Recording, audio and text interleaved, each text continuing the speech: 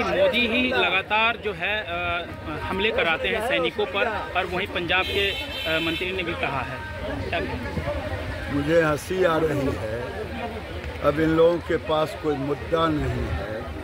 सैनिकों को गाली देने के सिवा और कोई मुद्दा नहीं है। मुद्दा है इसका जवाब नहीं दे पाएँगे कि ये झारखंड में कभी कांग्रेस के एमपी के घर रुपया निकलता है 300 करोड़ 400 करोड़। कभी उनके मंत्री के घर से निकल रहा है, आलमगीर के घर से।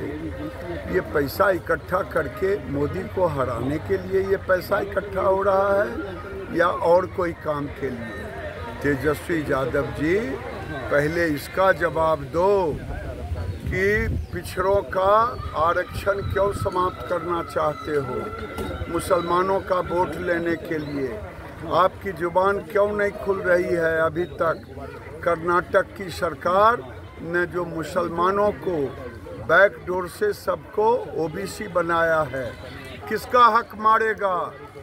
क्या ये, ये बिहार के जादव का हक नहीं मारेगा? बिहार के अन्य पिछड़ों का हक नहीं मारेगा? इसका जवाब दो। जवाब दो फारूक अब्दुल्ला जो खुद चाहती चाहते हैं कि पाकिस्तान कह रहे हैं, चूड़ियाँ पहन के थोड़े बैठी है, उसके पास परमाणु बम है।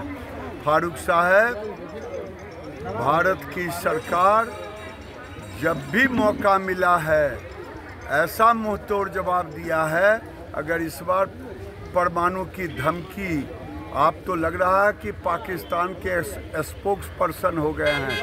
अगर उसने धमकी दी तो ज्योग्राफी में उसका नाम ढूँढने से नहीं मिलेगा क्यों भारत केवल हल्ला नहीं करता कि हमारे पास परमाणु है एक्शन लेता। तो 25 करोड़ जो मिला है इसको लेकर के क्या कहेंगे? मैं तो कह रहा हूँ चुनाव में मोदी को हराने के लिए ये टुकड़े टुकड़े गैंग की सरकार ने इकट्ठा की और ये मोदी को हराने का पूरे देश में एक साजिश चल रहा है। उसी में झारखंड झारखंड से पैसा आता बिहार और झारखंड की सरकार। ये पैसे के बल पे मोदी को हराना चाहते हैं। जो जनबल के आगे ये धनबल फीका पड़ेगा। अच्छा ये दिल्ली में बम धमाकों के जो धमकियाँ दी गई थी स्कूलों की अब गुजरात और अहमदाबाद में सीट रजिस्ट्रों ने कहा कि स्कूल में बम बम, बम से उड़ा देंगे स्कूल को। देखिए पहले सोहेल नाम कर का व्यक्ति गुजरात में पकड़ाया।